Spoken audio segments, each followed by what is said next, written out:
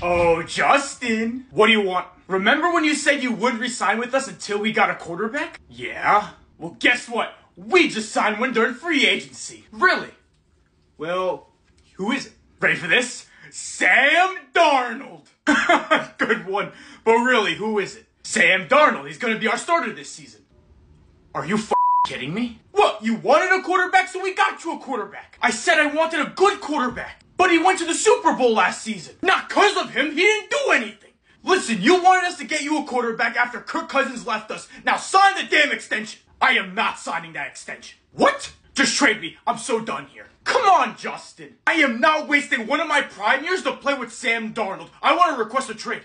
But wait, what if I told you we signed Aaron Jones? Who cares? He's not the one throwing me the football. Don't worry, Justin. Next season, you and I are going to be the next Joe Montana and Jerry Rice. I need to get the hell out of here.